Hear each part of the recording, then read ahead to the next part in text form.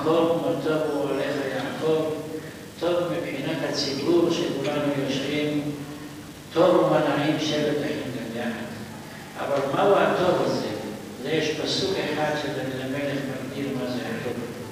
כתוב, וככה מגדיר המסילת ישרים, שדוד המלך מגדיר מהו הטוב האמיתי.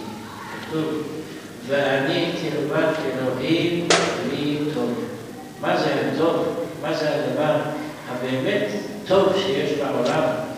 ואני קרבת אלוהים לי טוב.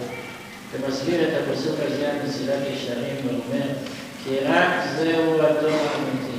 וכל מה שיחשבו בני אדם לטוב, אינו אלא הבל ושם יש דמיונות, כל אחד חושב, יש טוב אחר, מחפש טוב אחר.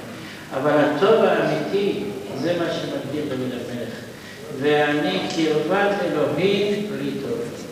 איפה מרגישים את זה?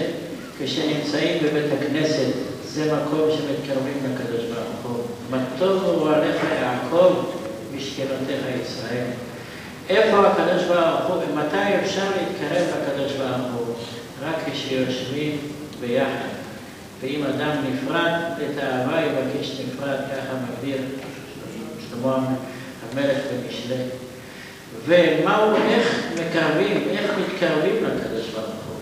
איך הכלי שאנחנו יכולים לדבר עם הקדוש ברוך הוא?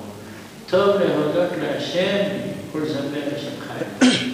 לכן ברוך השם אנחנו מושפעים בערב הזה בטוב של אני קרבת אלוקים לטוב.